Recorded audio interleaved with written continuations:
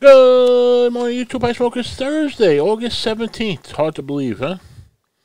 And it's 71 degrees in New York and swampy, swampy, swampy. Gold Bond Day. Been a lousy summer, actually. Very wet. Even the dogs got this uh, skin condition.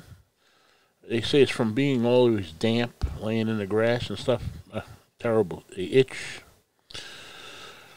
Anyway, hope you're doing well. I know the pipe show's this weekend in Ohio. Hope some of you are going and have a great time. The future begins today. Don't let the perfect be the enemy of the good. Enough is abundance to the wise. If you're poor, change and you'll succeed. We forget the chains we wear in life. Have a great day. Be well. Stay in the air condition. Drink plenty of liquids. I'll catch you on the next one. Thank you.